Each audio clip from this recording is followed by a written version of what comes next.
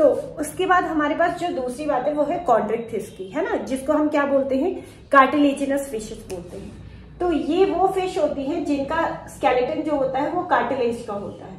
उनका बोन का स्केलेटन था, इनका कार्टिलेज का स्केलेटन है। मैं पहले ही बता चुकी हूँ कि कार्टिलेजिनस फिशेस जो होती है कंपैरेटिवली बड़ी और ज़्यादा स्ट्रांग होती हैं।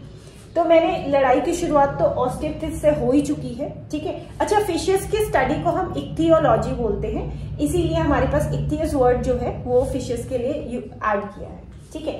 अब देखो, ज़ाहिर सी बात है, जब मैंने कहा इस छोटो, जब ये छोटे लोग ही इतनी लड़ाई कर रहे हैं तो ये बड़ा, यानी कि जो कार्टिलेज वाला फ़िश है, वो कितनी लड़ाई करेगा, है ना? तो ये वो लोग हैं जो सारे डॉन की कैटेगरी में आते हैं, ठीक है? तो जितने भी डॉन है, जैसे ट्राइगॉन, अब वो तो डॉन लाइक साउंड हो रहा है, स्कॉलेडॉन हो गया, कैरकेराडॉन हो गया तो ये डॉन वाले लोग जो है ना, वो सारे आपके कॉन्टेक्टिस में आएँगे, ठीक है?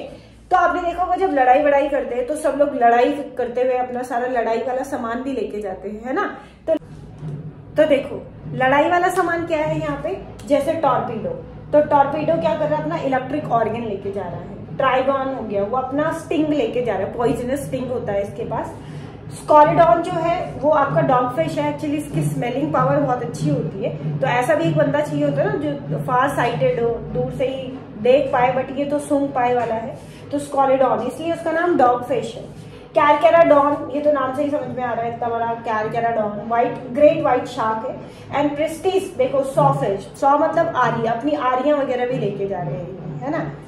तो मतलब आपको याद रखना है कि जो कॉन्ड्रेक्टिस होते हैं कार्टिलेजिनस वो बड़े ही डेंजरस है। तो ये सारे डेंजर लोग हैं, ठीक है?